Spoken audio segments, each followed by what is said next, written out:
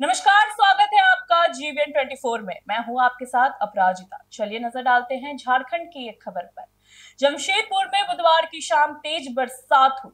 तेज हवा के चलते कई जगह पेड़ गिरे। विष्णुपुर में पेड़ गिरने से कार भी क्षतिग्रस्त हो गई, लेकिन बरसात से जमशेदपुर का पारा गिर गया है।